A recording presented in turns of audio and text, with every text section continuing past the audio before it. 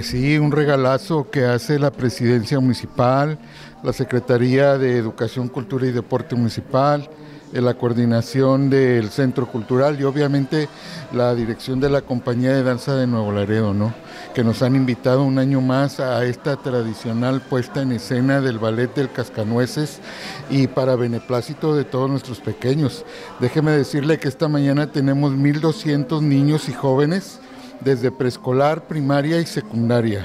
Así que estamos de beneplácito porque además entendemos que es un gran esfuerzo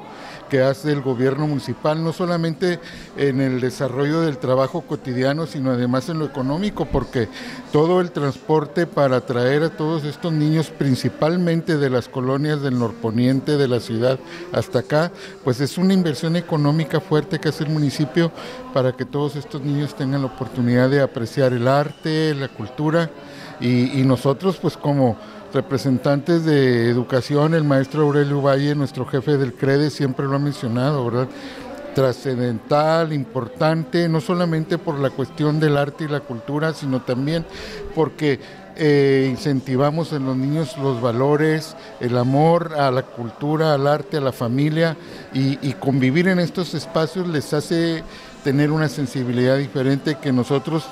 como maestros agradecemos al gobierno municipal estas oportunidades.